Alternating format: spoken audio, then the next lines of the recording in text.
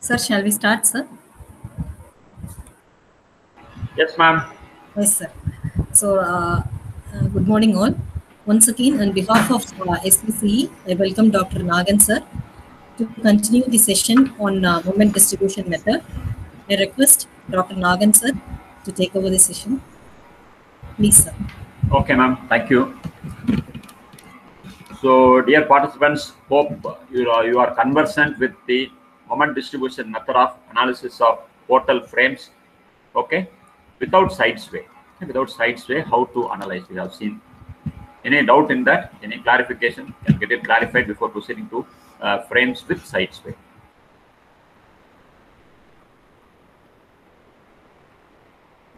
Mr. Gokulnath. from SRIT. Karthik sir.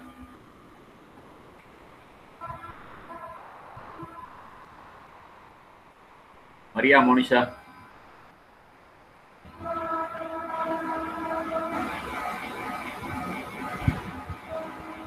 Okay. We continue. Okay. So with this we will stop and uh, say first we should explain to our students when we have side sway okay when will we having side sway okay so unsymmetrical frames so frames which are unsymmetrical. For example say uh, if the left column okay the left column is having moment of inertia i and the right side column is having moment of inertia 2i but all the other things are symmetrical. Say the columns may be having same height uh, uh, the moment of inertia b may be something different okay? So even if that that is we call this as unsymmetrical frame. Okay, it's because the moment of inertia of the columns are different. Okay, or in case if the heights of the columns are different. Say the left side uh, column has four meter height, and if the right side column is three meters height, then it is a again a unsymmetrical frame. So in case unsymmetrically loaded frames, say a frame may be symmetrical, frame may be symmetrical. Say the columns may be uh, three meter height, both the end conditions are same okay the loading uh, if the loading is a non-central point load then in that case we'll be having side sway okay then uh, actually then we will not have side sway means say if we have a lateral load if you have a lateral load but you have provided a support at the beam level if we have provided support at the beam level then that frame will not be subjected to side sway this thing we should uh, teach to our students because they should be able to identify which frames will have side sway and which will not have any side sway. Because in the examination, they will not give you, they will give you simply the frame. So we need to identify whether the frame will be having side sway or not. And then we need to proceed accordingly. Because frames without uh, side sway has to be dealt in a different way and frames with side sway have to be dealt with in a different manner. Only some slight variations. The other steps be common steps will be there. Additional steps need to be done for uh, frames with side sway.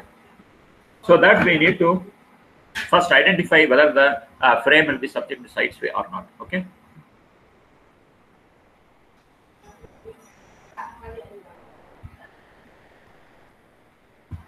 so let us take this frame okay so whether this frame will be subjected to side sway or not any anyone tell me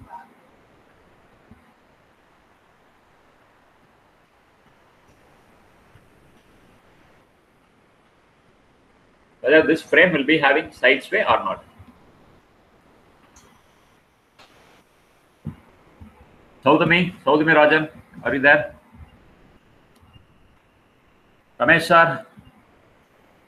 To, uh, இதுல side sway இருக்குமா இருக்காதா? Which frame, sir? The frame, oh, I have not shown the, shared my presentation. Ah, okay, wait, sorry. I'll share my presentation.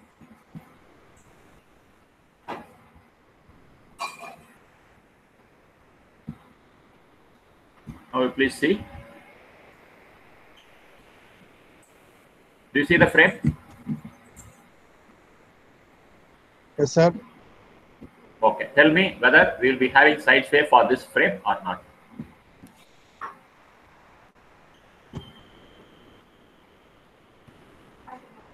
Okay. So I'll Yes, tell you. Side, having side sway, sir. Yes, okay. I'll tell you the reason. Okay. Say this frame has combination of the uh, several factors which I told earlier. Okay. The first factor is the frame is unsymmetrical. Frame is unsymmetrical. It's unsymmetrical in the sense column AB is of height 3 meters column CD is of height 2 meters. Similarly, moment of inertia of column AB is 2i. Moment of inertia of column CD is 1.5i. Okay, so this itself will make the uh, frame to undergo side sway. Another combination, another uh, reason is it has a lateral load. It has a lateral load. So if you have lateral load, definitely there will be side sway of the frame. Though the frame is, though if the frame is symmetrical, we have lateral load, the frame will be subjected to lateral displacement or side sway. Okay. Only thing, if you have provided a support at the beam level, say beam level is BC, so if I have provided support here, a rigid support here, then the frame will not be subjected to side sway. Okay. But here it will be subjected to side sway because of the said reasons. Okay. The frame is unsymmetrical, it has a lateral load, these uh, uh, columns are of different height, columns are of different moment of inertia, okay, everything. Okay. So let us see how to analyze a frame with side sway. So first you should write the reasons for side sway. Okay, this frame will be subjected to side sway since the frame is unsymmetrical. Okay, and it has a lateral load. So combination of the conditions will make this uh, frame undergo side sway. So as usual, step one: stiffness and relative stiffness. Stiffness and relative stiffness. Whether the screen visible clearly? Yes, sir. Yes, sir. Visible, sir. So span AB, BC, CD. Length AB 3 meters, BC 2 meters, CD 2 meters. Moment of inertia. Moment of inertia of column AB is 2i, BC is i, and for column CD is 1.5i. Then stiffness. Stiffness. Say AB, A is fixed, B is continuous, therefore I by L. So 2i by 3 will be the stiffness for this. And for BC, for BC, we have uh, B is continuous, C is continuous, therefore I by L. So I by 2. Then for CD, 1.5 I by 2 because uh, C is continuous, D is fixed, therefore I by L. In case if you have any one of the supports as hinged or freely supported as we had in the previous example, then 3 4 I by L should be used. Okay. Here every every have I by L. What is step 2? And relative stiffness also. In the same step, you need to do relative stiffness. I have multiplied by 3 by I. I multiplied by 3 by I. I got here as 2, here 1.5, here 3 into 1.5, 4.5 by 2, 2.25. Okay, so these are the relative stiffness values. And step 2 will be distribution factor. Okay, step 2 will be distribution factor. So distribution factor df AB equal to 0 since A is fixed. And df BA equal to KBA by KBA plus KBC. Okay, KBA by KBA plus KBC. So 2 divided by 2 plus 1.5, 0.57. And df BC will be uh, KBC by KBA plus KBC, which is 1.5 by 2 plus 1.5, which is 0.43. So sum of these dis distribution factors at any joint should be equal to 1. So if I add these to 0.57 plus 0.43, I'll be getting as 1. Then come to DFCB. DFCB is KCB by KCB plus KCD. That is stiffness of the member considered by sum of stiffnesses of members meeting at a joint. Okay, sum of uh, stiffness of the member considers 1.5. Sum of stiffness of members meeting a joint is 1.5 plus 2.5 is 0.4 then dfcd equal to kcd by kcd plus kcb small k use small k for uh, relative stiffness or stiffness. Okay? So 0.6 sum of distribution factor at any joint should be 1 so 0.4 plus 0.6 will be equal to 1 here 0.57 plus 0.43 equal to 1 distribution factor at a is 0 because a is fixed. Similarly distribution factor at d is also 0 since c is d is fixed. Okay? So df distribution factor for dc is equal to 0 since d is fixed then step three, step three is fixed end moments. Okay, fixed end moments. So span AB, okay, span AB, we have yeah central point load. If you take the, if you see the original uh, frame, given frame, if you take this frame, what is the load given? Please see.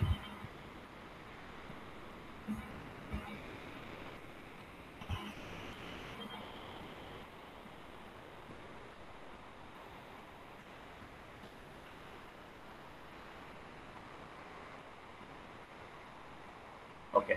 So here, the span AB is subjected to a central point load. So if we take this span AB, if we make it as horizontal, then AB that will be subject to a fixed beam subject to central point load because 1.5 meter 1.5. Therefore, M of AB will be minus WL by 8 and M of BA will be plus WL by 8. And span BC subject to UDL. Therefore, M of BC will be minus WL squared by 12. M of CB will be plus WL squared by 12. So in this problem for column also we are getting fixed end moments. Okay. So minus WL by A plus WL by A and then minus WL squared by 12 plus WL squared by 12. Okay. Now, uh, actually the frame will be subjected to side sway. Actually, there are several methods of handling side sway problem, but this is one method as I told initially uh, taught by our professor Muthu sir. We will follow this procedure or I will follow this procedure. If it's comfortable, you can take this or you can follow the method specified in textbooks. Okay. So here, what we will need to do is first we need to do the moment distribution due to non-sway condition.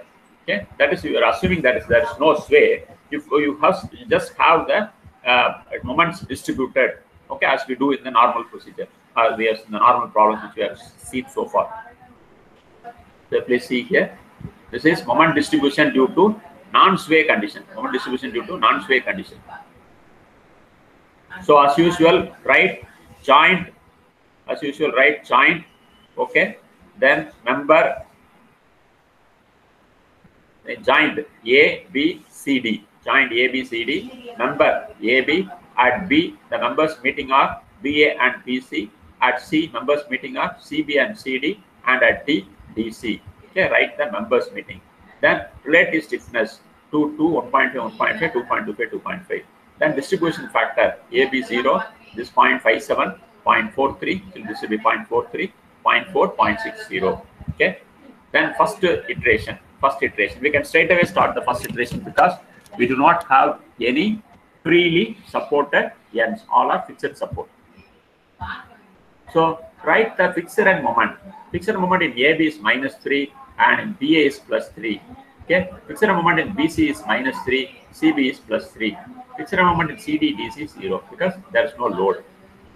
Then DM, distributed end moment. There, the, this line is not required. Okay, line between FEM and DM is not required. So distributed end moment. In case of distributed end moment, we need to consider every joint. So consider joint A. So consider joint A. At joint A, we have minus 3. So plus 3 need to be applied. Multiplied by the corresponding distribution factor, we will be getting 0. Then come to joint B. Okay, joint B. At joint B, we have 3 minus 3. So 3 minus 3 will be 0. So nothing could be distributed, therefore 0, 0. Here, joint C, 3 and 0. Therefore, unbalanced moment is 3. So balancing moment will be minus 3. So minus 3 multiplied by this factor 0.4 is minus 1.2. Minus 3 multiplied by 0.6 is minus 1.8. Okay, so this comprises first iteration. Okay, this completes first iteration. So first iteration comprises FEM and DEM. Okay, then we'll go to second iteration. Second iteration will comprise COM and DEM. Third iteration will also comprise COM, DEM. Fourth iteration, if you have, then COM, DEM. We should end up with DEM. Always distributed moment should be the end. Okay. So carryover moment, second iteration, carryover moment. So carryover moment should be done within members. So AB to BA, BC to CB, CD to DC.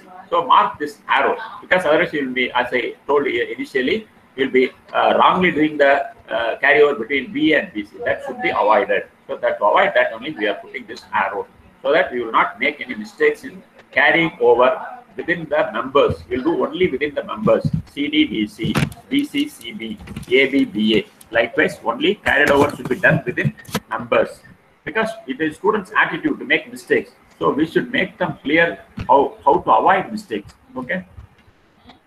So here 0, here 0. Then here minus 1.2, so minus 0.6, 0. here minus 1.8, minus 0.9, 0. Okay. Then distributed end moment. Distributed end moment. Here joint A, 0. Therefore 0. Joint B, 0 minus 0.6. 0 minus 0.6. So 0.6 need to be applied to balance this. So unbalanced is 0.6 minus 0.6. So 0.6 need to be applied. 0.6 multiplied by 0.57 is this 0.342. 0.6 multiplied by this 0.43, this value. Then come here. So here we have no value, therefore 0, 0. Then here 0.9. So therefore zero because distribution back to zero. Then COM carryover moment. So half of the moment will be carried out, half the moment will be carried out. So we can simply transfer this arrow here. Simply that, therefore we can compare. We are doing rightly. Okay, the carryover. So half the value will be carried over, half the value carried over here. Then after carryover moment, distributed end moment. Okay. So third third iteration, fourth iteration, finally, okay, you should add from where? From where you should add? Tell me from where we should add? We should add from fixer amount. First iteration, fixer amount values we should add to get the final end moments. Okay. But these these final end moments are not the real final end moments because we have assumed that the frame does not have any side sway and we have done this moment distribution. Okay, we have done one moment distribution assuming non-sway condition. Okay, that there is no sway, the distribution will be like this. But in the actual problem, will be having side sway. Okay, the actual problem will be having side sway due to the conditions which I explained earlier. Okay, and we call these values as m dash values. We call these values as m dash values. Okay, m dash values. Now, the next step is we need to find uh, fixed end moment due to side sway. Okay, this is the next step. Fixed end moment due to side sway. Fixed end moment due to side sway. Because there will be side sway. So how to find fixed end moment due to side sway? Please see here diagram. So AB will be subject to side sway of delta here, and CD will be subject to side, uh, side sway of delta here, as shown in the diagram. Because we have a lateral load uh, from left to right, this will make the frame sway towards the right direction. So mark the sway like this, delta, delta. Okay. Then fixed end moment due to side sway. This is this table is fixed end moment due to side sway. So span AB, BC, CD. Yes, span AB, BC, CD sway or uh, lateral displacement. In AB, we have delta. BC, beam does not have a side sway, for zero. Column CD will be subject to side sway of delta. Okay. Then fixed end moment due to side sway. Fixed end moment due to side sway is given by plus or minus 6 EI delta by L square. Plus or minus 6 EI delta by L square. And in BC 0, so for leave it. Here plus or minus 6 EI delta by L square. Okay. So we need to put uh, know when we need to use plus sign and when we'll have to use minus sign. Okay. So for this, the rule is say consider AB. Consider AB. So AB we have sway at the right end. Okay, we have sway at the right end. So if you have sway at the right end, we need to use minus sign. If the sway is to the left side, use plus sign. Okay.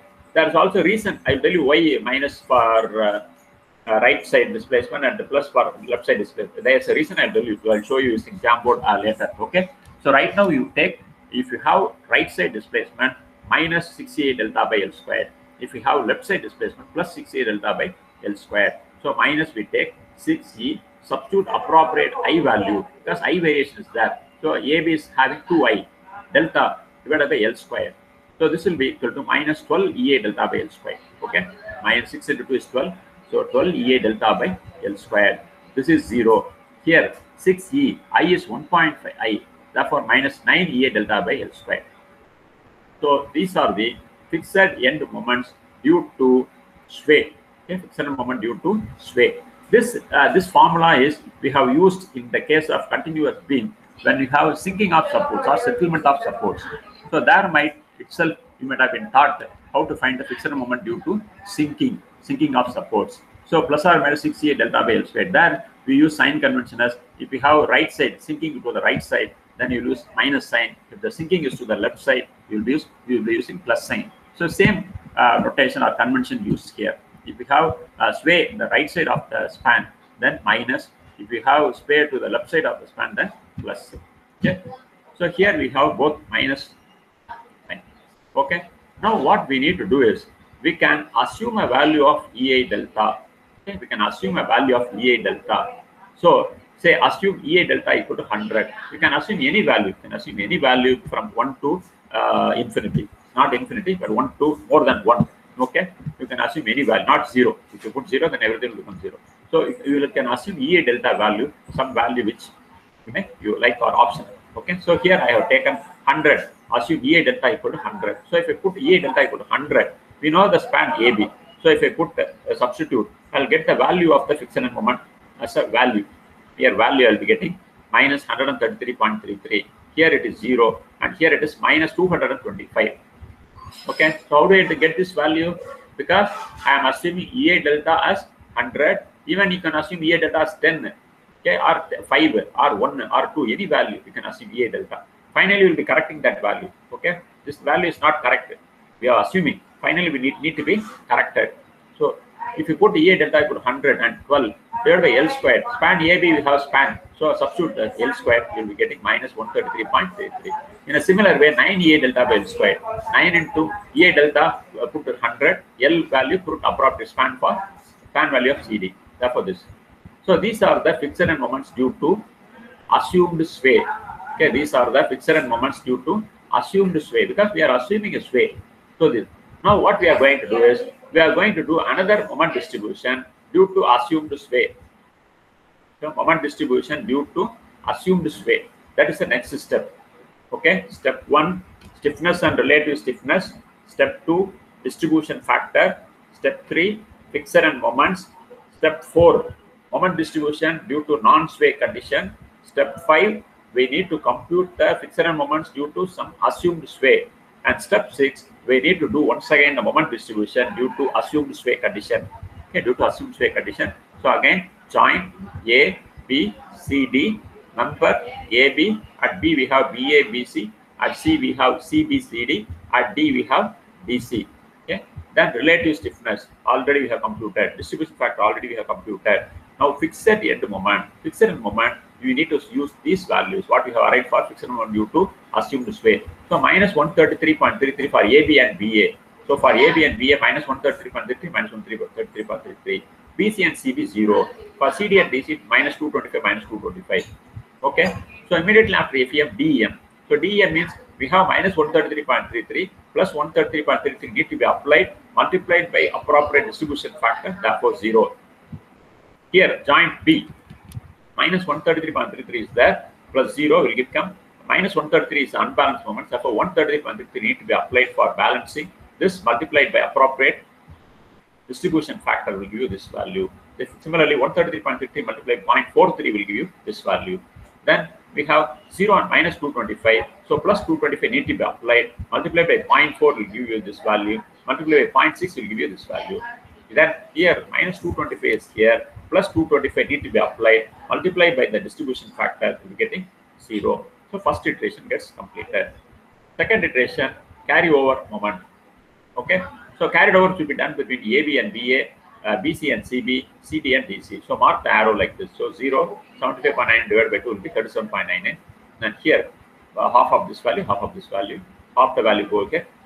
So once you have carry over moment, then DEM. Second iteration comprises COM, DEM. First iteration comprises FEM, DEM.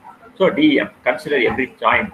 So 37.99 is the unbalanced moment. Minus 37.9 need to be applied. Multiplied by the appropriate distribution factor 0. Therefore 0. Then here 0, 45. So minus 45 need to be applied. Minus 45 multiplied by 0.57 minus 25.65. Minus 45 multiplied by 0.43 minus 18.9. Immediately after arriving these values, as a check, add these values 0, 45 minus 25.65 minus 8.9 you should get 0. Similarly here, 27.99 is unbalanced moment, minus 27.99 is the balancing moment. Balancing moment multiplied by appropriate or corresponding distribution factor to give you these values. Then second cycle gets completed. Okay, then COM, DEM. So likewise, you need to four iterations. Okay, so at the end, we need to add all the values from FEM, add the values vertically, leaving the values written in bracket. Don't add the values within written in bracket. This is for our reference only. Whatever the values you write here within bracket is for our reference and computations. Okay, that need, should not be added elsewhere. That's why we need to write. We should develop the habit uh, to student of writing this using pencil. Okay, then add you will be getting these values. These values we call as m double dash values. We call this as m double dash values. Okay, initially we have got one moment distribution values, that is m dash values, and this is m double dash values. Okay, the next step, the next step is to find the correction factor, to find the correction factor, because we have assumed some side sway. Similarly, the user, any user will use his own side sway value, but it, everything need to be corrected. So that is that step is to find the correction factor, capital R. How to find the correction factor? So that we will be using what is called as horizontal shear condition equation. In case of portal frames, in case of portal frames with side sway, in case of portal frames with side sway, we can develop the horizontal shear condition equation. So the horizontal shear condition equation will be like this. Say we will be having a frame subject to lateral load P, say it's acting a distance uh, uh, B1 from here, uh, B1 or A1, okay, whatever may be the distance from here. So the using horizontal shear condition equation will be using sigma h equal to 0, this P from left to right minus HA minus HD equal to 0. Okay, P minus HA minus HD equal to 0. So how to find HA and how to find HD? So we need to consider free body of AB. Okay, to consider free body of AB, you have load lateral load P, you have MAB here, you have MBA here, you have HA here, okay, HA here. So if I want to find this reaction HA, I need to take moment about this joint and equal to zero. So if I take moment about this joint, I'll be getting MAB plus MBA minus P into B1 because MAB clockwise, I assume clockwise. This I assume clockwise. So MAB plus MBA minus P into B1 minus HD or plus HA into H1. This height of this column is H1 from which I'll be getting value for HA. Okay. Similarly, if I consider free body of CD, I can find uh, the horizontal reaction of. So HA I will be getting as minus MAB minus MBA uh, plus PB1 by H1. Similarly, consider free body of CD. Consider free body of CD. In CD, you will be having MCD and MDC. So that will be having horizontal reaction HD. To find HD, take moment about C. Okay. So I'll be getting HD value. I'll be getting HD value. Then you use the horizontal shear condition equation. P minus HA minus HD equal to 0. Therefore, the minus sign will get cancelled. We'll be getting this equation like this. So I'll be having this lateral load P, lateral load P plus MAB plus MBA minus PB1 by H1 plus MCD plus MDC by H2 equal to 0. So we can make our student to how to write this equation even without deriving these things. Even without deriving, we can uh, tell them how to remember this equation. Say you have a portal frame with side sway. Okay, you have a portal frame with side sway. Please see here.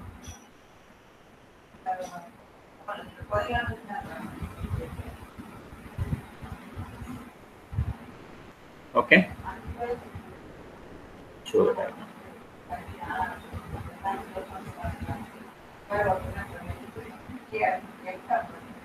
Say, you ask them to write first the lateral P, okay, P plus the end moment for AB, the end moment is MAB, here it is MBA. So MAB plus MBA minus P into this.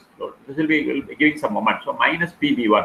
Okay, MAB is the end moment at A, MBA is the end moment at B. So MAB plus MBA minus PB1 divided by height of this column. That will give you the next component. Similarly, for this component, MCD plus MDC, end moment at C, end moment at D. MCD plus MDC divided by H2. Okay. Here, MAB plus MBA minus PB1 will be giving moment. We know that moment divided by span will be the reaction due to horizontal reaction. Okay, whenever you have moment, moment divided by span will be the horizontal reaction. That concept only we are using. So to find HA, I'll get I'll be getting MAB plus MBA minus PB1 by H1. Similarly, uh, to find HD, MCD plus MDC divided by H2 will give you HD. So P minus HA minus HD equal to 0. Therefore, you can uh, ask them to remember this equation as P plus MAB plus MBA minus PB1 by H1. Uh, say P plus MAB plus MBA minus PB1 by H1 plus MCD by plus MDC by H2 equal to 0. This is the horizontal shear condition equation for all frames with side sway. Okay, for any frame with side sway, you can very well use this horizontal shear condition equation. Okay, we know what is P. P is the applied lateral load. P is the applied lateral load. So this equation can be expanded like this. This equation can be expanded like P plus MAB can be written as M dash AB plus R times M double dash AB. MAB can be expanded as M dash AB plus R M double dash AB. then MBA can be written as M dash BA plus R times M double dash BA. Okay, minus PB1 by H1 plus this MCD. MCD can be written as M dash CD plus R times M dash CD. And MDC can be written as M dash DC plus R times M double dash DC divided by H2 equal to 0. So from this equation, we'll be able to find the value of R. How, how can we find the value of R? Because M dash AB, we can take value from the first moment distribution table. M double dash AB can take the value in the second distribution table. R will be unknown. Similarly, M dash BA, take from first table. M double dash BA, take from the second table. R is unknown. P and B1 are known because lateral load is known. Lateral load is 8 kilonewton and H1, height H1 of uh, height of column 1 is 3 meters. B1, the distance between the lateral load and our top of the frame is 1.5 meter. H2 is 2 meter. So we can very well substitute all these values. Only thing is R is unknown. Okay. So the two moment distribution values will be helpful here. That's why I named the first table values as M dash values and second table values as M double dash values. So th those values will be useful here. So substitute the values of P, substitute the value of M dash AB, R times M double dash AB plus M dash BA, R times M double dash BA minus PB1. Okay. Now we, we may have a doubt. Say I if in the column, if in the column I have a UDL, applied UDL, I can very well use this formula. I can very well use this formula. So in case of UDL, this P will be replaced by W with L because W is the intensity of the load, L is the length over which the UDL acts. Therefore, P can be replaced by the lateral load will be UDL in the case of UDL, uh, intensity into length. Here, PB1. So P, force will be W into L and distance, CG distance. So it will be half the height, H1 by 2. So thereby, this general equation can be used for any problem. Okay. In case, if I have the lateral load applied at the top of the frame, if I have the lateral load applied, wind load, say take the case of wind load, applied at the top of the beam, at the beam level, if I apply P as the beam level, then if, if P is 10 kilonewton, so P apply use P as 10 kilonewton, and here this term gets cancelled because there won't be any B1 since the load is applied at the top of the frame. Other things being same. So using this equation, if you substitute, we can find the value of R. R is nothing but the correction factor. R is nothing but the correction factor. Once the correction factor is known, then say R they have found us uh, in this problem they have found us 0.0142 and this R will be differing for everyone. Okay, if you have assumed as 100, you will get this value. If you have assumed as 10, you may get different value. If you have assumed as 1, you may get different value. Okay, 5, 10, 15, anything. So depending upon the value you assume, you will be getting the R correction factor value. Yeah. Then final end moment. We see how do we get the final end moments. Final end moments. Right join. Okay, right join. A, B, C, D. Okay, A, B, C, D. Number A, B, B, A, B, C, C, B, C, D, D, C. Okay, A, B, B, A, B, C, C, B, C, D, D, C. M dash values, right? The M dash values. What are the M dash values? Can anyone tell where we get M dash values? Where be having M dash values?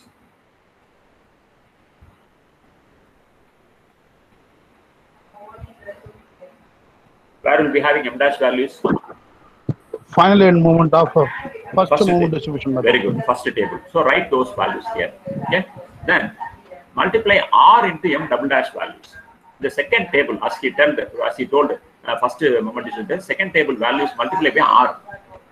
Okay, you- have now got the value of R. So have these values.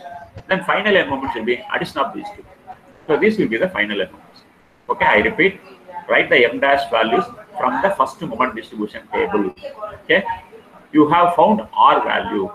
R value is a correction factor. Since you assumed this way, that values need to be corrected with the help of this correction factor. So R into M double dash values. Whatever M double dash values, there is a values obtained in the second table are not corrected. So they need to be corrected. So multiply by the correction factor. You'll get the corrected values. Then add these two, you'll be getting the final moments. This is the procedure uh, which will be followed for any portal frame with side sway. Any uh, side sway problem can be easily accommodated using this. So for these things, you need to remember only the how to write the horizontal shear condition equation. So horizontal shear condition equation is nothing but lateral load P plus AB. You take column AB, MAB plus MBA minus PB1 divided by H1 plus MCD plus MDC divided by H2 equal to 0. Okay. we will, we will be given the values of P, we will be given the value of B1, H1, H2, M dash values take from first table, M double dash values take from second table, find the correction factor, then form this table. So you'll be getting the final. Once you get the final moment, other procedures are same. Write the uh, end moments here. Here I have minus 4.32, here 2.22, minus 2.22, 3.3, minus 3.3, here minus 3.2. So there, there will be moment balance. If you have done the moment distribution and other things correctly, there will be balance of moment at every joint. At fixed end, there will be a fixed moment. Okay, there will be some moment. Now we will see how to plot this minimum diagram. Okay, how to plot the minimum diagram. Say here minus 4.32. So minus means anti-clockwise. So if I apply an anti-clockwise moment here, if I apply an anti-clockwise moment here, where the column will move towards left or right? Left, sir. Left. So mark it left side. How about here? Plus 2.22. Apply a clockwise moment here. Apply a clockwise moment here. Where it will move? Just apply a clockwise moment like this. Right side. How right side? Inner side. Ah, how inner side? Say you you are standing here, you place a pencil here and apply a clockwise movement. See where the column will be. Outside, outside. outside only. So 2.22 need to be found outside. So 4.32 also outside. This 2.2 also outside. Mark these two. We'll get a trapezium. Okay. So do one by one. One column, then beam, and another column. Okay. This will be the video type. So this 4.2 mark outside. This 2.2 mark outside. Connect by the. So this will form a trapezium, and it is subject to a lateral load. So central point load. It will be having a bending moment of this triangle. So this forms a baseline above the baseline plus and this is minus. Okay. Then come to beam. In beam, I have anti-clockwise moment here. So apply anti-clockwise, beam will move up. Here I have clockwise moment will move up. Connect these two, again trapezium. Free bending moment is the parabola. So this will be completed. Then here, this is anti-clockwise moment. Apply an anti-clockwise moment, column will be pushed out. And here also anti-clockwise moment, apply an anti-clockwise moment, will be pushed inside. Connect these two. This completes the bending moment diagram. So we need to complete this O1, find this O1 and O2. O1 is maximum positive moment here, and O2 is the maximum positive moment here. So to find these values, we need to consider free body of AB and free body of BC, and then we can find the net bending moment values. Okay, net bending moment values are also essential to design the uh, midspan reinforcement as well the support reinforcement. Okay. So the steps, additional steps in uh, frames with side sway. Okay, so step one is stiffness and relative stiffness, same common for frames with sway without side sway.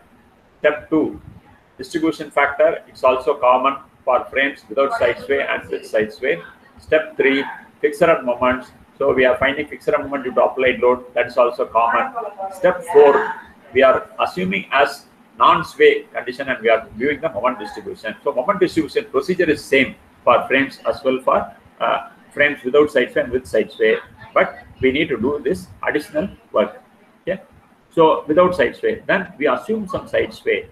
Uh, calculate fixed moment due to assumed sway using plus or minus 68 delta by L squared. If your displacement is to the right side, then we have minus. If your displacement to the left side, then plus. So that is the sign convention for uh, fixed moment due to side sway. Calculate the value.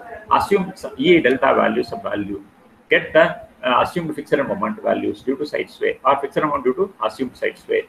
Then do another moment distribution with the assumed uh, fixed moment due to side sway. Then have this as m double dash values, have the initial one as m dash values. Okay.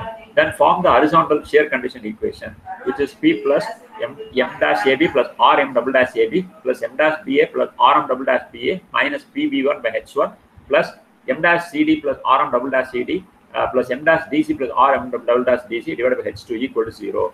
Take values from first table as well from second table. Fill uh, right the fill the value of the lateral load. Fill the value of the distance of the lateral load from the top. Uh, okay. H1, H2 values, you'll be getting the value of correction factor R. Once correction factor is obtained, then again a small table in which joint member, then m dash values, R multiplied by m double dash values. Addition of these will give you the final end moments. Okay, so this procedure we follow in case of frames with side sway. Do you have any doubt the steps? Sir, uh, I have one small doubt, sir. Yes, In M double dash table, yes. Uh, in case of uh, fixed end moment with loadings, we are putting one end minus and another end plus, sir. Yes, But in case of uh, fixed end moment for sway, yes, yes. both. Yes, both will be will be having same sign. Okay, that you, that we might have studied in uh, beams with sinking of supports. Okay, sinking of supports we have studied. Have you studied? Have you been taught earlier? Sir. In sinking of supports, how we have calculated? Say if the support sinks, uh, that they say if in a continuous beam ABC, uh, in a continuous support uh, continuous beam ABC, they will give you like, give you like this: B sinks by 10 mm. Okay, B sinks by 10 mm. So in that case also, we'll be calculating fixed end moment due to sinking of support. So due to sinking, the nature of moment at both the ends will be same. Okay, they will give you uh, say they'll give you m dash m of AB, m of dash AB equal to m of dash BA. Likewise, only we'll be getting because it will uh, it will cause either clockwise or anti-clockwise uh, rotation. Okay, that sinking will cause either clockwise or anti-clockwise rotation. So it, it should be same for the member. It will not vary. Okay. Okay, sir. Sir, this method is available in any textbook, sir, or can we get this? I will I will share the PPT. Okay. Okay, any textbook available, sir, in this method? Mm, textbook I have not seen this type of approach. They will use some other approach, and people use some other approach. This uh, actually this method was uh, uh, slightly modified and uh, to, our, to meet our convenience by our professor uh, Muthu sir, as I told. Okay, sir. So we follow this for the uh, for the period of 20 or 25 years. We follow the same method. So there is no harm. Even you can check with the conventional other methods. It will be safe. Okay, sir. Similarly, in the next uh, tomorrow session, I will be handling you a matrix uh, displacement method. Okay, that also, the method has been uh, formed or framed by uh, Professor. So we follow the methodology. That will also be not available in any textbook. Okay, okay. But final end moments, everything will be same. The procedure will be slightly different, and we have we find it easier compared to other methods. That's why we follow this. Okay, thank you, sir.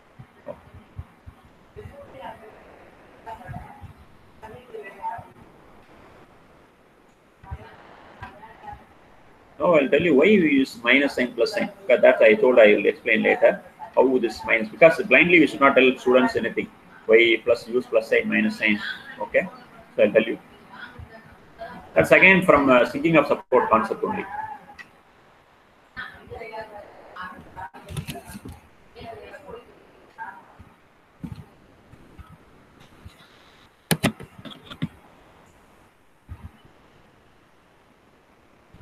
So do you see the whiteboard?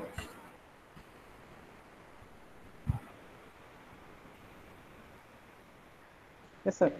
Okay. Say, uh, let me take a beam. Actually, it should be horizontal. Sorry for the thing. Say, I have a support here, okay, and I have a support here, okay. Uh, let this support subjected to sinking like this. So we'll be connecting this with the help of line like this. Okay, sorry. So if sing- sinks here, I'll be connecting with the help of a curve like this. Okay. The, so the new support will be here. After sinking or settlement, it will go here. Okay.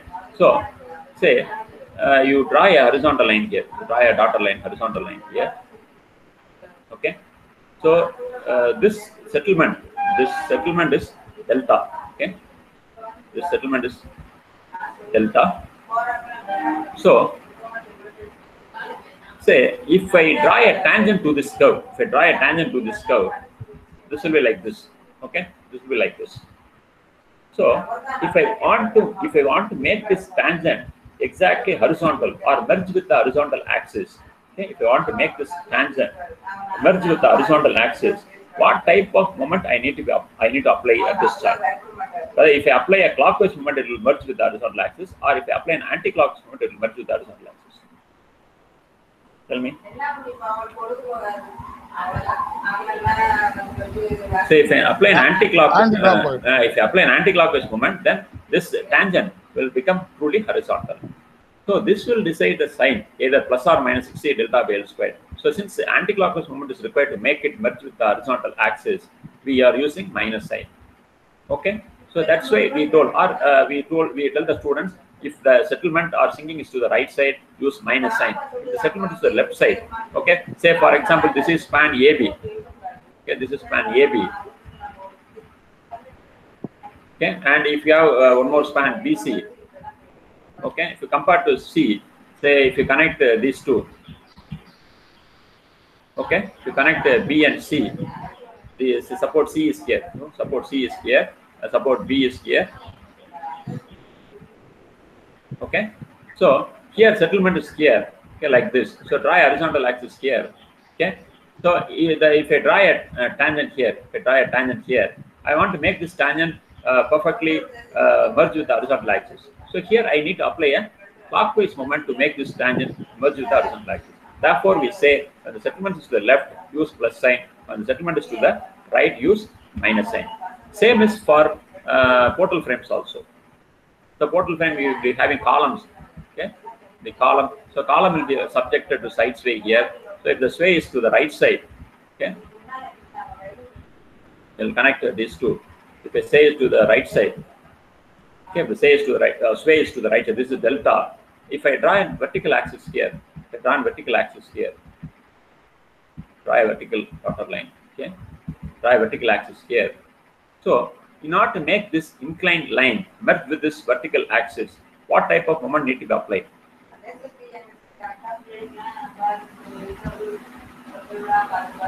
I want to make this inclined line merge with the vertical axis. So what type of nature of moment need to be applied? I need to apply an anti-clockwise moment to make this merge with the vertical axis. Okay, that's why we say when the sway is to the right side, use minus sign and the sway is to the left side, use plus sign. Okay, is it clear? This also we should tell our students because we, we are telling them uh, if a right side settlement use minus sign, left side settlement plus sign, they should understand why we are using plus sign. So the nature of the moment required to make the uh, tangent that's with the horizontal or vertical axis that will decide the sign. Okay.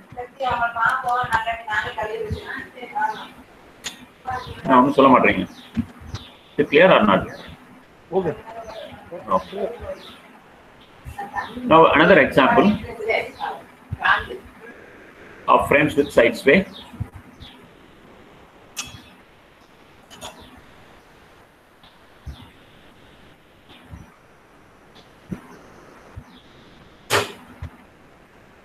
Say, and you can see this example. A portal frame, uh, say span three meters, three meter high, uh, span of the beam is three meters, height of the column is three meters, subject to a lateral of 10 kilometer. Okay, subject to lateral of 10 kilometer. So in this case, how to solve? So whether there will be side sway or not,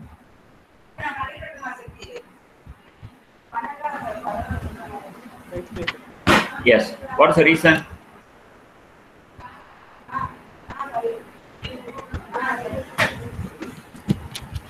Since the frame doesn't have any support at the beam level and it has it is subject to a lateral load of 10 kilonewton. Therefore, the frame will be subjected to side sway.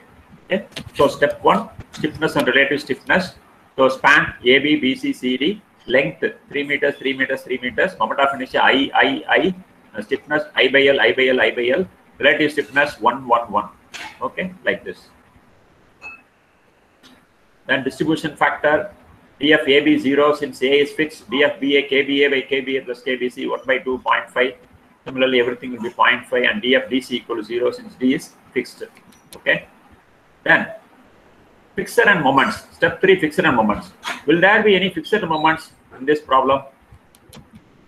Will there be any fixed end moments in this problem?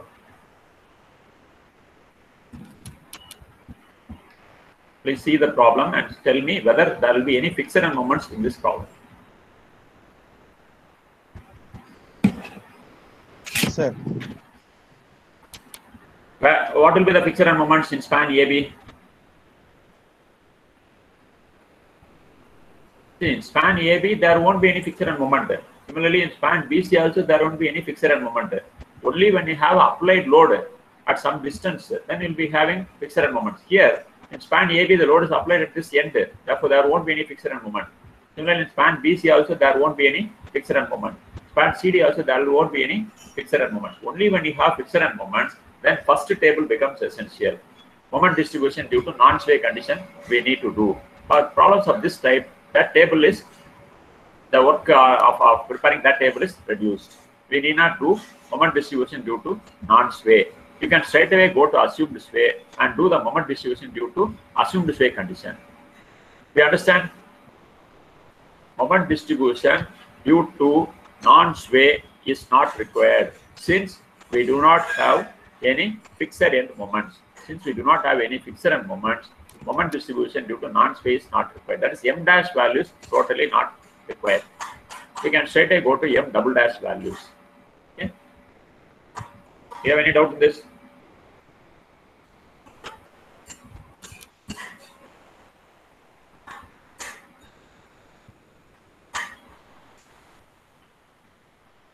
So, right, fixed end moment due to assumed sway. So you can write the reason. Since there is no load in any of the spans, no fixed end moment. There is no fixed end moment. Step 3, fixed end due to assumed sway. Span AB, BC, CD, uh, sway. AB will be subject to side sway delta towards right. Uh, CD will be subject to side sway delta right. Okay. Therefore, fixed end moment due to side sway. Minus 60 delta L squared, 0, minus 60 delta L squared. Why minus sign? Because the settlement or uh, sway is to the right side. Okay. We know delta, sorry, we know L, I values are same. Therefore, assume EA delta, same 100 we are assuming. Okay. So you'll be getting some value. So use this value in the moment distribution table. Moment distribution due to assume this way. Okay. So joint A, B, C, D, number A, B, B, A, B, C, C, D, C, D, D, C. Relative stiffness. This distribution factor 0, 0.5, 0.5, 0.5, 0.50. Then fixed moment. You take these values minus 66.67 for AB and BA and 0 for BC and CB and minus 66.67 for CD and DC. Then DEM, distributed end moment. Consider every joint. Minus 66.67 is there. Apply plus 66.67. Multiply by the distribution factor, you get 0. Then here, joint B, minus 66.7 plus 0. About plus 66.7 need to be applied. Multiply by factor 0.5, 0.5. You're getting 33.34 on either side. Here, minus 66.67 is there. Apply plus 66.67. Multiply by the factors, you get 33.34. Okay. Then carry over moment. ABBA, ABBA, BCCB, CDDC. So draw these arrows correctly. Before carry over, please put these arrows. That will help us to avoid mistakes. Okay. So AB to PA. So 33.34 half value, half value. Here half value, half value. Half value, half value. Okay. Then DEM, second iteration. Consider every joint. Here 0, here 0, 16.67, therefore minus 16.67. Multiply by factors, getting this. Here 16.67, minus 66.67 need to be applied. Multiply by this factor, therefore minus. So to check what you should do, you should add all these four values, you should get 0. Similarly here, if you add all these four values, you get 0. Then COM, carry over moment. Then DEM, COM, four iterations, enough. Okay. So the values which we get finally are M double dash values. Minus 53.12 minus 40.11 plus 40.11, 40.11 minus 40.11 minus 53.12. So these are M double dash values. Now these values are not corrected. So to find the correction factor R, so we have the horizontal shear condition equation is P plus MAB plus MBA minus PB1 by H1 plus MCD plus MDC by H2 equal to 0. Here P is the lateral load. So load is known, given 10 kilonewton. Okay.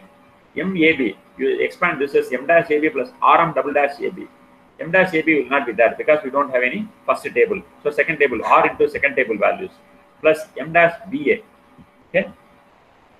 Plus RM double dash BA. So M dash BA won't be there. RM double dash BA will be here. So R multiplied this value. Similarly, M dash uh, CD DC. R into so that value. So expand the equation. If this divided by H1, this will be H2.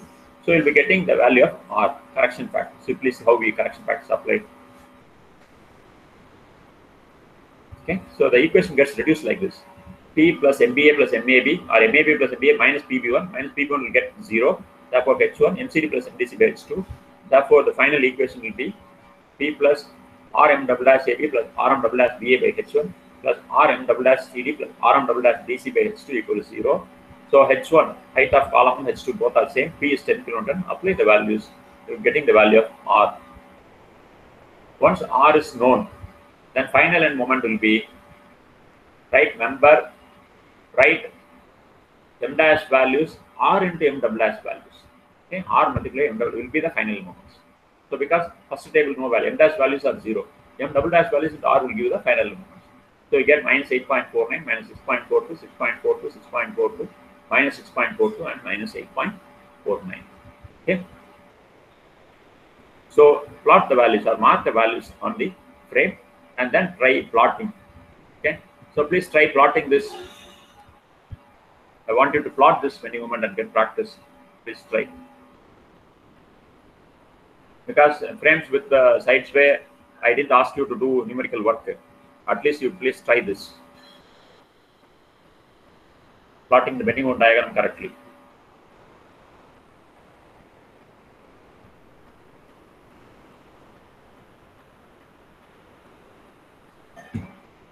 Only we gain confidence over the method. Thereby, we can teach our students with confidence.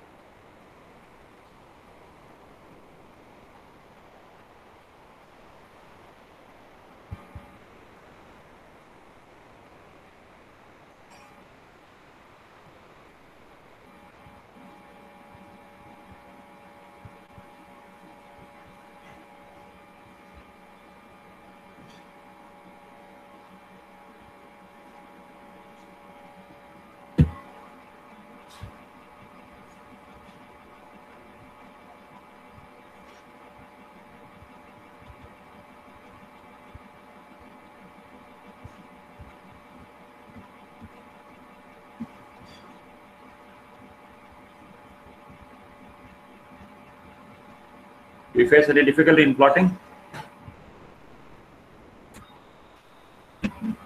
Here we need not uh, draw free BMD because there is no load. So simply whatever you plot is end moment value, that itself will be the final end moment uh, minimum diagram. So this type of question normally mostly expected in university questions. Because this will uh, reduce time, you can do within the time this type of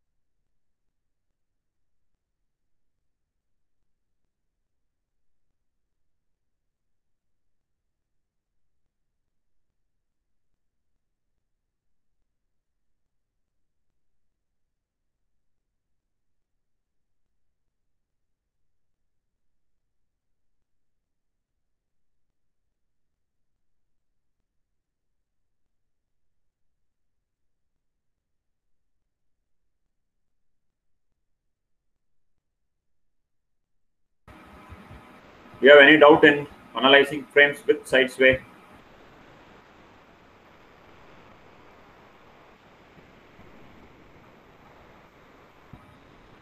Gautam Rajan.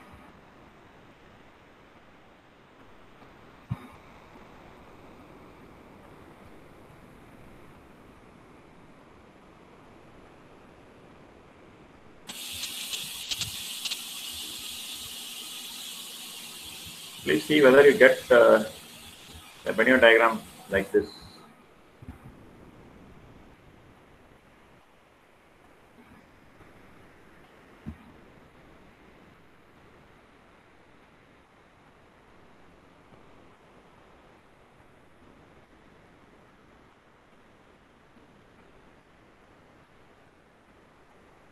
We need to go one by one. Okay, first draw for AB and then BC, and then CD. So for AB, at A we have an anti-clockwise moment because minus minus means anti-clockwise. So apply an anti-clockwise moment, the column will be pushed out. Okay, the column will be pushed out. Here we have again here at the top at BA also this minus. So minus 6.42. So anti-clockwise moment. Applying anti-clockwise moment that will make the column uh, push the column inside. So 6.4 plot a value of 6.42. This is 8.4 and connect these two. So this will be the Venn diagram for portion AB. So clear? Anti-clockwise moment make the column or push the column outside. Here anti-clockwise moment to push the column inside. So mark this point, mark this point, connect these two. Okay. Then come to beam. In the beam, MBC is clockwise plus 6.4. So applying clockwise moment will push the beam down. So mark this point, mark this point. Here we have clockwise moment of 6.4. To apply clockwise, it will push the beam upward. Therefore, this point. So connect these two points. To draw correctly, to draw uh, somewhat proportionately, to draw somewhat proportionately, okay, then you will get this overlapping portion like this. You'll be getting some portion getting overlapped. So this is the correct uh, Venn diagram for beam with lateral load like this.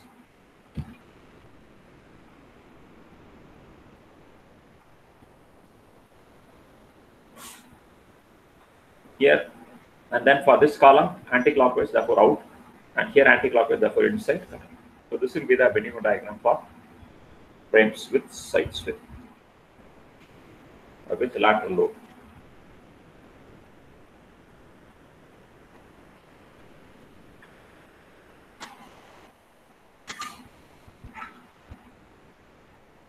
So for moment distribution method, in the morning we started with frames without side sway. So we have seen two examples. Similarly, for frames with side sway, we have seen two examples. Okay, I will supply the material, this PPT to Madam, and get it shared. Okay. And it's a time for discussion. If you have any doubt whether in uh, frames with side sway or without side sway, you can get it clarified.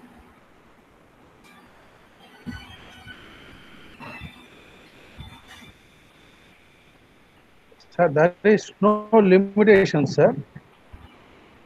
That should be Limitations. for the method. Uh, moment distribution. Uh, no, no limitation. There is uh, uh, the time taken will be more if we have more number of base, more number of uh, spans. Okay. Otherwise, the procedure is the same. So normally, what people do is if you go beyond the one uh, one bay or two bay or multi-sway, even for multi-sway frames, you can use the method, but that can be solved with the aid of a computer program. So people will program this so that we can do it uh, solving equations and all the solving the equations are all will be taken care by the computer. Actually, STAAD Pro, StatPro itself, they have incorporated matrix moment distribution method, a matrix moment distribution method to do the uh, processing of the variables. Sir, there are different uh, types of such analysis. Which one is best? Uh, and calculation, finite element, and the software. Which one is best? Best one. So that uh, depends. Say if in a building, say if you are dealing with a small building, if you're uh, dealing with a small building which involves say maximum of two span or three spans, okay, then we can do manually. Can do manually. Can very well do it manually. Okay. Uh, but if you go for multi-storied frames, go for multi-storied frames, manual calculations cannot be done. So can be done, but it will take uh, the time computation time will be very much more. Okay. In that case, what people do is they go for substitute frame analysis. They'll take an intermediate frame and have substitute frame method. So in the substitute frame method, we can uh, analyze intermediate frames and we can do manually. Okay, that is also possible. But if you want to do uh, within time limit, then uh, with the help of uh, softwares. So software for analysis, we can either use finite element based software or uh, conventional, say STAAD Pro like software, STAAD Pro or uh, ETABS you can use. Okay only when uh, say when you are using complicated things that is that is you are doing some experimental works in reinforcement concrete okay and that need to be modeled then there only this finite element plays a major role okay For ordinary building frame analysis, our uh, regular methods using software it's enough. Okay, and people in structural design consultancy offices they use uh, softwares for analysis alone. For, for analysis alone, they use software. How However, however, for design, they use their own spreadsheets. Yeah, they, they develop their own spreadsheets for uh, every element like beam, column, uh, slabs, etc. Uh, similarly for footings. So they use the uh, spreadsheets for uh, design. So this is the current uh, trend followed in uh, design offices. Okay, sir. Thank you. Thank you. Sir, on, on small doubt, sir. Uh, tell me. Sir, while drawing, uh, finding fixed end moment for external load, Okay. one side we are uh, putting plus and another side minus, sir. Uh, Okay. The sign convention is followed, sir?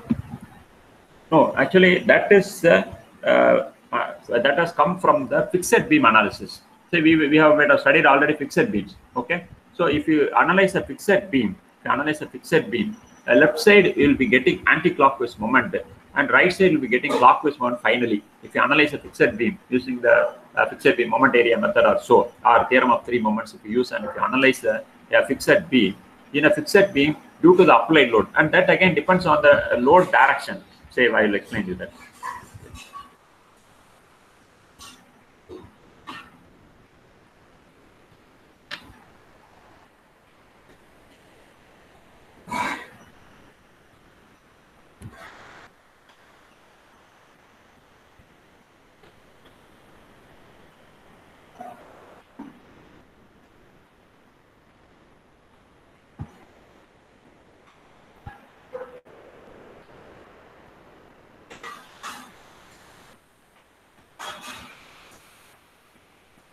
There, you have a fixed beam, okay?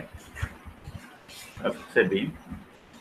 Say the fixed beam is subject to downward UDL or downward uh, any any downward load, okay?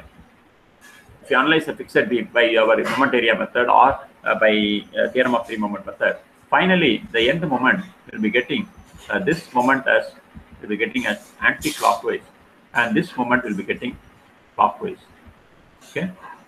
So this we call as the fixed end moments in the in our analysis. Okay, that is we mean uh, we treat every span as a fixed beam subject to the given loading, and we are finding the fixed moments.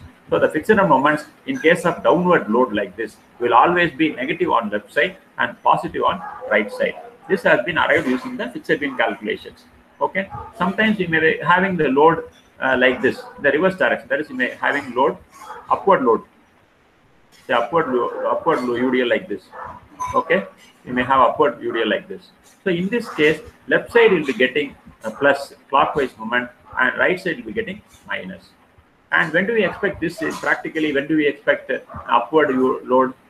Say in case of upward soil pressure. Say if I am uh, designing a box culvert, if I am designing a box culvert, okay, so designing a box culvert, that will be treated as a frame.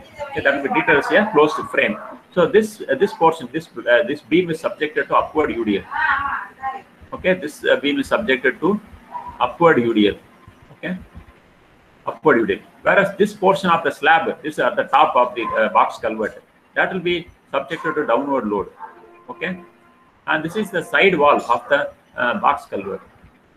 So side wall will be subjected to lateral earth pressure, which will, which will be uh, triangular variation like this. Okay, that will be triangle like this. So in this type of frame, we expect all types of loads. So this beam, this beam is subjected to upward UDL. Uh, this beam is subjected to triangular load. This beam is subjected to central point or downward, and this beam is subjected to a uniformly varying load. So we have several cases. So here, in case of if you find fixed moment for this beam, left side will be getting plus value, and right side will be getting minus value. That is left side clockwise moment, anti-clockwise moment. For this beam, I will be getting left side anti-clockwise moment and right side plus. uh, Okay. Similarly, I need to analyze this as a beam, horizontal beam, and uh, this side minus and this side plus. Okay. If I take this, uh, if I analyze from, uh, uh, say, if I take the fixed beam, uh, the fixed beam like this, and the view from this side, and this side it will be I will be getting minus, and this side I will be getting plus. You understand? Yes, sir. Yes, sir. Okay. If you get confused, just you make it horizontal. You make the beam horizontal. Okay, you make horizontal like this, then you'll be not you'll not be having any doubt. Okay. Sorry. Someone typed a message.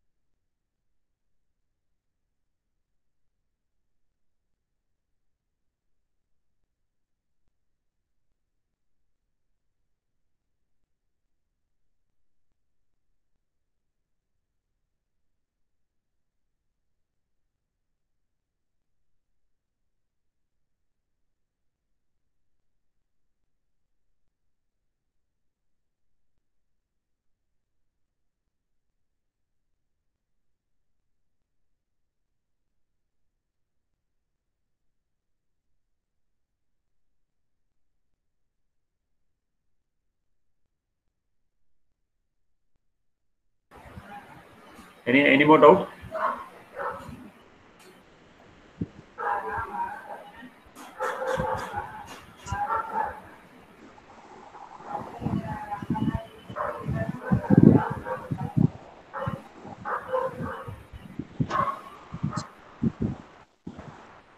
So if there are no doubts, uh, can we conclude the session, sir? Ah, yes, ma'am.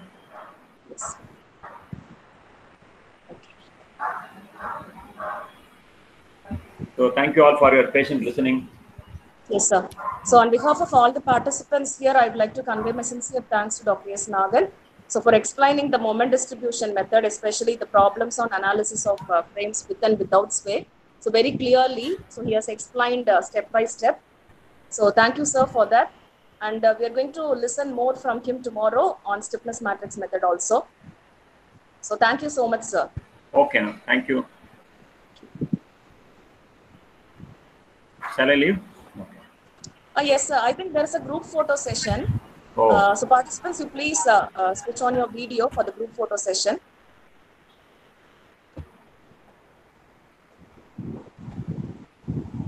So Dr. Satya is the another coordinator of this program, sir. I think you know Dr. Satya very well. oh, she worked at uh, KLM, it seems. Leah. No, sir. Oh, She's the student of uh, PC. oh. She studied in MEPCO, actually. Okay, Uh, okay. B, ME she did at uh, TCE. Yes. remember. Yes. And her sister also studied in IIT. Yeah. Yes, sir. Sir, Yes, sir. Yes. Okay, okay. So happy to meet you. Thank you, sir. So you are now with uh, Sri Venkateswara. Yeah, Yes, she sir. is now SVCE, sir.